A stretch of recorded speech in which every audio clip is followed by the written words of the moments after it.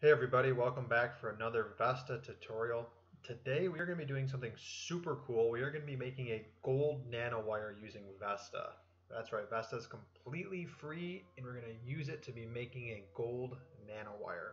Now in a previous video I actually made, a titanium dioxide nanowire, so it's a little more complex actually than this example, but I think I, I wanted to make this example because actually gold nanorods are actually very popular in the literature and if you're into material science and you want to get into computational material science, uh, having this skill will be a good skill to have. So without further ado, I'm going to open up a file of a gold unit cell that I happen to have. Um, you can easily find this on the internet. And um, first thing, when we're going to make the nanowire, we need to we need to understand two things. Number one is that the nanowire we're going to make here in this case is a crystalline nanowire. Uh, it's possible that in experiments, nanowires might be some sort of amorphous-like structure, uh, but for this, but but but for this tutorial, we're going to be, be making a crystalline, a crystalline nanowire, and we have to ask ourselves, how thick do we want to make the nanowire? Do we want to make the nanowire one unit cell thick, two unit cells cells thick, three, four. Um, in my titanium dioxide example, we did two unit cells thick. So I think in this example, we can do two unit cells, and that would be an appreciable diameter. That'd be a respectable diameter for studying because you have to remember, the larger the systems are, the more expensive it will be to perform electronic structure calculations on them. And so um, how exactly do we expand this structure? Well, what we do is we I press Control E. You can actually just go to Edit. So I'll, I'll show you that. You go to Edit, Edit Data, Unit Cell. Then we go to Transform, and I'm going to make this 2 by 2 by 2. Select OK. Yes. OK. Apply. And so you can see we just made a 2 by 2 by 2 supercell of gold. Now what we need to do is I actually need to save this. I'm going to save it as a uh, VASP. Export data. And I'm going to save it AU 2 by 2 by 2 dot VASP. Save. Cartesian coordinates. Okay. Now I'm going to exit out of here. I'm going to reopen up that 2 by 2 by 2 VASP. Okay, so now here we are. And what we need to do, I'm just going to press this A. By the way, if you're if you're ever wondering what all of these buttons do over here, uh, please go check out my beginner tutorial series.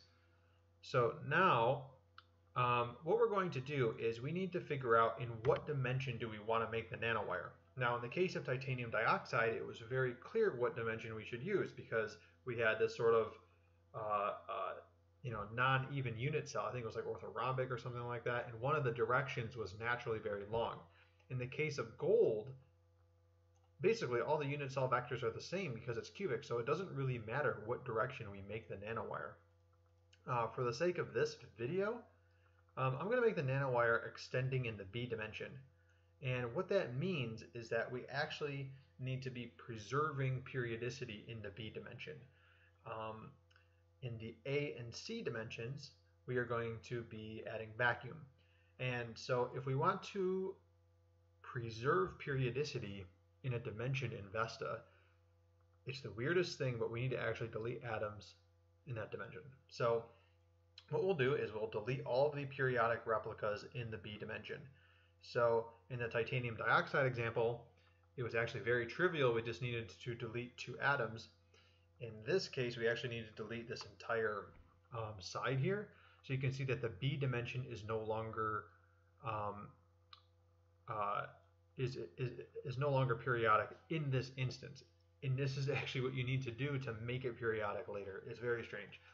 Uh, because we're going to be adding vacuum in the A and C dimensions, we're going to keep them periodic here so that when we add the vacuum, you get the full unit cell in there. Okay, Anyways, so what we're going to do is save this, go to File, Export Data. Now we're going to just save it as an XYZ. So press Save. Save hidden atoms, no. Then we come here, we basically come to our, uh, our file where we're working, and we have the files we just saved. So now what I'm going to do is go into this 2 by 2 by 2 XYZ.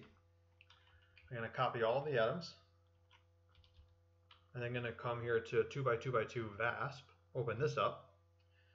Now I'm going to delete these atoms and recall that we had 50 gold atoms. Okay, so we have 50 gold atoms.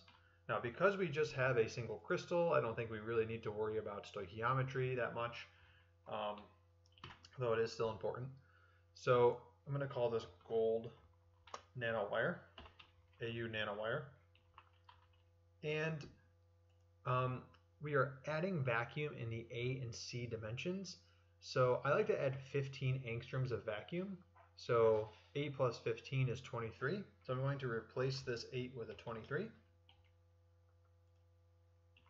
Just like this. Save it. So we keep B exactly how it is. Save it. Come back to Vesta.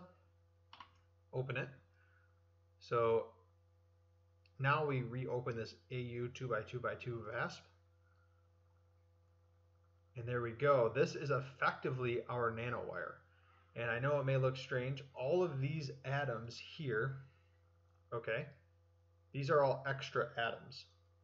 So these can be essentially deleted. Now, if we go back to how we originally had it, um, what you'll see is that when we expand in the B dimension, so I go to boundaries, let's expand it 5 in the B dimension you can see that there is our nanowire right there. So this is a gold nanowire. It's two by two by two unit cells thick. You can see if we kept it one by uh, just just just one unit cell, that this would be our nanowire. So you can basically literally you can literally see the nanowires inside of themselves. Um, this is a completely crystalline nanowire, so it's not amorphous. If you wanted to make it amorphous, you'd have to do a, an exhaustive procedure of um, simulated annealing and um, yeah so this is basically our gold nanowire. It was a little different from the TiO2 procedure um, but I hope it was instructive. I uh, just want to remind you one final time that this is a crystalline nanowire. It's very ideal. You'd have to you know heat this up or do some relaxation on it. Um, but yeah it's periodic in the B dimension and there's vacuum in the A and C dimension. So, okay, thank you very much for watching. Please uh, hit the subscribe button uh, so you can stay tuned. Thank you.